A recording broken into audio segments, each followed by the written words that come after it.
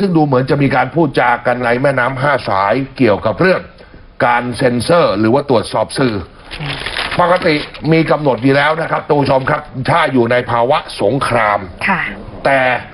มีข้อเสนอในที่ประชุมแม่น้ำห้าสายเมื่อวานนี้ มีรายงานว่าเป็นข้อเสนอของรองนายกรัฐมนตรีฝ่ายความมั่นคงพลเอกประวิตรวงษ์สุวรรณ